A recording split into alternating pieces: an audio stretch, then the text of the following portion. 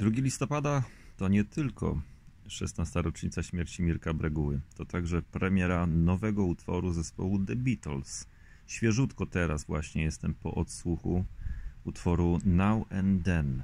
Powiem krótko i będzie to najkrótsza recenzja, jaka istnieje.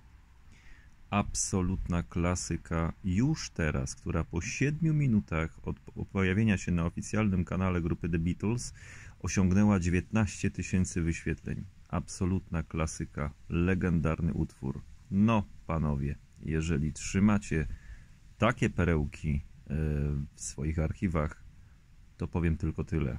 Chcemy więcej. Geniusze, jak zawsze.